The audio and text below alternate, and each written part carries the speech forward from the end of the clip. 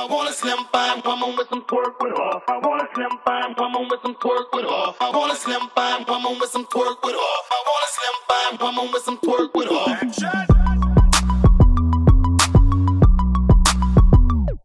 What's up, YouTube? It's your girls, Dae. and Nae, and today we're doing a how to have a 4.0 semester. So, you know, a little bit of study tips. We got 10 things on our list. And yeah, let's get right. That kind of scared me. Let's get right into the video. Okay, study tip number one. So, we're just going to talk about the difference between writing your notes and like typing your notes, like what, you know, what classes you should do it for or whatever. Uh, what class did I write notes for? I write notes for like all of my classes because I can't type that fast. It's just a me thing. I mean, like that's kind of a preference, but you know, writing your notes is helpful. It is. It's really helpful. Uh, you uh, when you write your notes in class, especially if like your teacher gives you like powerpoints, like uh, like it's provided for you, like you can still access them like after class.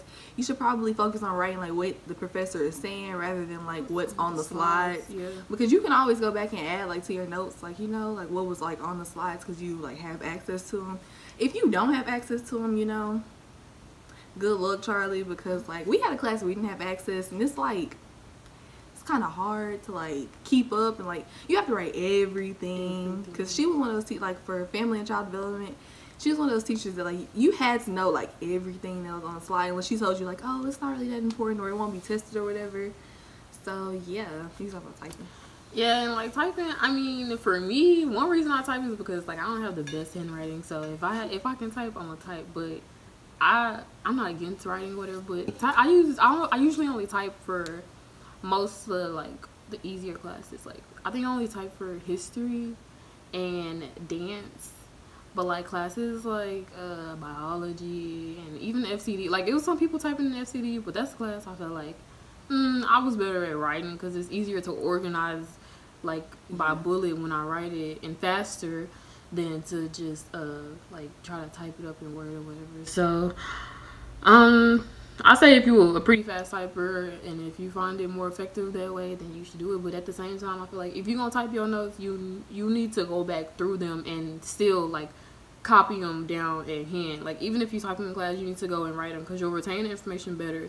That's why it's better. It's also better to write at the same time because Yeah. that's you know if you recopy your notes, it's like Yeah, I mean, even with writing and typing, we feel like, well, we both, like, after we write or typed our notes after class or a week after, a day after, whatever, like, to go back and, like, write your notes again. First of all, if, especially if you write, it makes it, like, neater. You can organize better. Yeah. And if you add in stuff from, like, information from slides, it makes it, you know, easier to, like, you know, put the stuff in there. yeah. Uh, we recommend, well, I feel like for writing, I recommend, like, getting, like, colored pens. I don't know if that's just a us thing. Some what, people but- like just writing like a normal black pen, and I know people who highlight if you just want to Yeah. use highlighters, but I don't know. I don't like Color the way that looks. That's Yeah. where it's at. okay? like usual color pen, you could like you know it's just easier. You can just put like your your big titles, your subtitles, Yeah. your like you know it just like organizes your thoughts or Well, whatever. it is. Set aside time for each class. Oh wow, I'm dead. Um, set aside time for each class. So it's kind of like we. I think it's kind of like we said. What was our last video? I don't know. It's kind of like we said in the other video though, when we said prioritize or whatever. That's kind of. I feel like that's kind of basically the same things. You just need to make sure like you don't forget about certain Yeah. classes. Don't you know some are more important than others, but Don't un- underestimate. estimate. Yup. Because I thought in the beginning for like uh, family and child development, we were like, oh, we don't really need to study like super hard, or we don't need to like put that much work in. Yeah. But like I don't know, once we, We got past like, the first mistaken. first test, we was like, no, like we're gonna start to start looking in this book. Yup. Like number three is get work done ahead of time. Know it's not like you can't always do that. It's not like the easiest thing to do, but like there's times when you're not gonna really have like no work because it happens. Like you know, you might think like I'm always be doing this, this, this, this, and that. But like it's times where you're not gonna have no work. Like it's gonna be like, dang, really like yeah, like you just gonna be sitting there. All your friends gonna be studying. You gonna be like, well. so you know, you should take that time, look at your syllabus, syllabi, and uh, get ahead. Cause you know, Or make sure you caught up. Like if you are at that point that you don't have anything to do, make sure you go back and make sure you did everything you need to do. You know, you probably forgot something or or like oh dang, like yeah. I know it happened to me one time. I was like, I ain't got nothing to do. Messed around and had tests coming up and I didn't even Oh, study for it. so yeah. So at our at our uh school we have these things called SI sessions. I don't know if other schools do, but for Texas State we have SI sessions and well, okay, so for chemistry, this year we were required Which to like- go to them. Yeah. I don't know how I feel about that, but mm, No. Hmm. I didn't like it. okay, I won't. Uh, it depends on your on your SI person. Every session isn't the best session, but they can be helpful. And it depends on when, cause like if you have an SI session before you have the class, it's like okay, I haven't even went to class and learned Learn what I was supposed to learn, but I already had like an SI session. Session. So for chemistry, I didn't really like that it was like required, and then it's like you had to take what was it eight, and it's only like seven weeks that you could take them. So then in one week you have to double up, like you'll have no choice but to take like two SI sessions in one week. But you know, overall, when you go and you going on your own, it's like really helpful because like uh yeah, I mean, like classes like biology, it's like, dang, like I really don't understand like Yeah. photosynthesis. So like this week I can go to this SI session and like, oh, now I understand. And it's like they teach you in like a different way Mm-hmm. than like your professor would, because they're like students too. Like they're literally like they might just be one year old. They might be the same Mhm. grade as you. Like you know, like y'all on the same level, so it's easier to understand like when they like, you know. Yeah. And also, also uh, office hours. Go to your professor's off, professor office hours, which I definitely didn't take advantage of.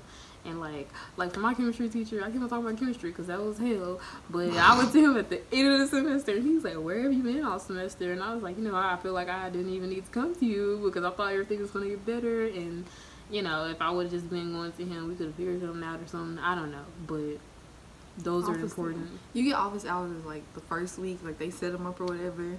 I thought they remind you too, like you know. Yeah. And we went for biology a couple of times because Oh, yeah. biology is that's our class, okay? I Yeah. didn't understand what was. We was like, okay, can we like, break down like how this is like?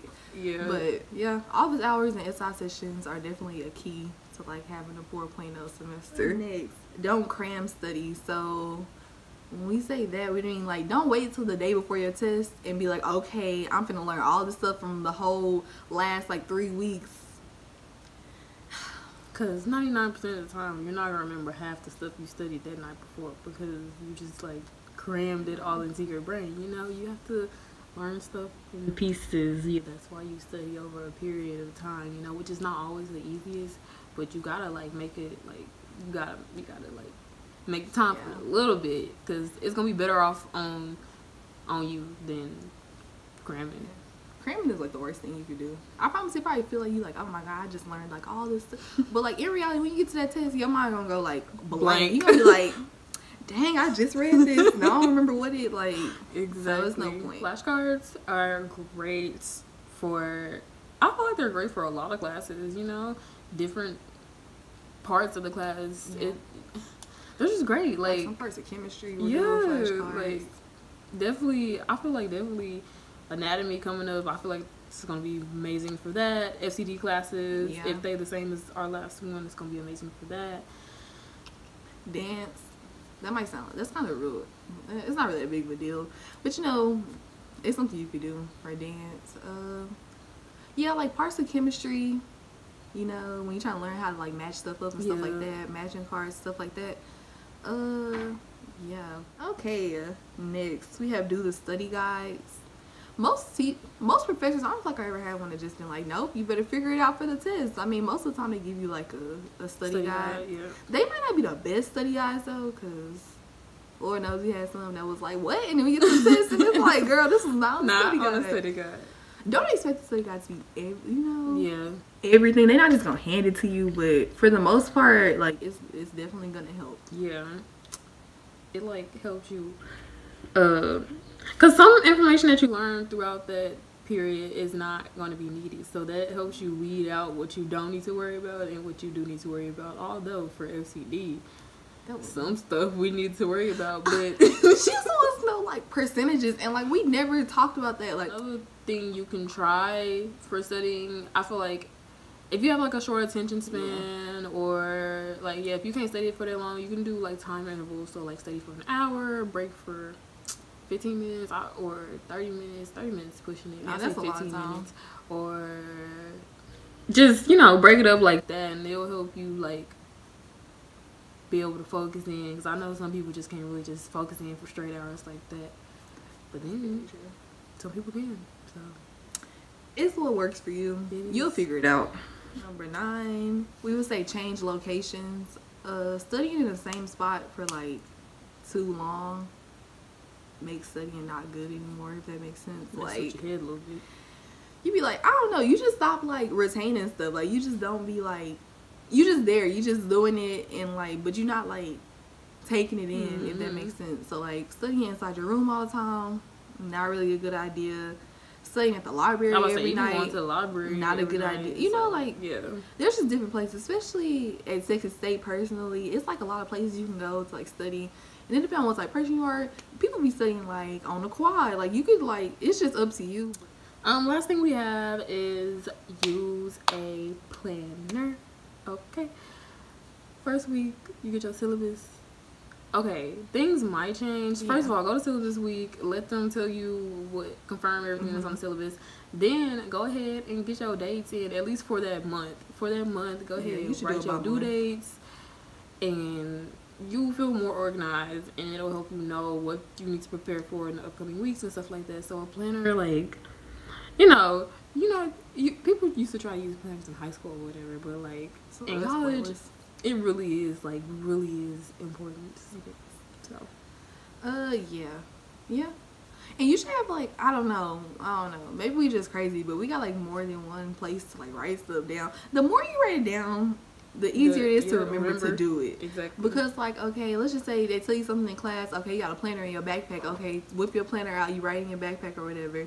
And then like uh, if you have a planner like in your room, then you like okay, I'm gonna go in my room and like let's just say you have like a desk planner or whatever or calendar or whatever. You write down your calendar and then it's like right in your face every time you sit down. So it's like Mhm. I don't know. It makes it easier to like want to do the stuff. Yeah, because cause even if you did have like like a desk planner and not like an actual planner in your backpack, that's not helpful. Because like what if you like out and about and you need to know like your schedule, and then like. It's, it's it's very good to have both. I think now after we like got the desk planners, it's good to have it in both places. And then like a little sub little subscript thingy from that one is to have like to do lists when you go to study because like sometimes you sit down and you should make your to do list like throughout the day like before you like actually sit down and study. Because sometimes you sit down and it's just like dang like what was I I even start? finna like?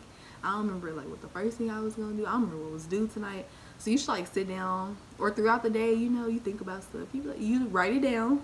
Put in your notes in your phone, write it down on like a note card, something to where when you sit down and study, you can actually like, you know, know what you're doing. Exactly. so yeah, that's pretty much it for this video. I hope those were, I feel like those were very helpful tips. You know what I'm saying? I would want somebody to tell me these things a year ago. Yeah. So go ahead, like it up because I know y'all like the video. Comment because we're gonna reply. I'm like, we're friendly, so reply. Oh, don't forget to subscribe now because I know y'all want to see more videos from us or whatever. Yeah, so thanks for watching and we'll see you guys in the next video.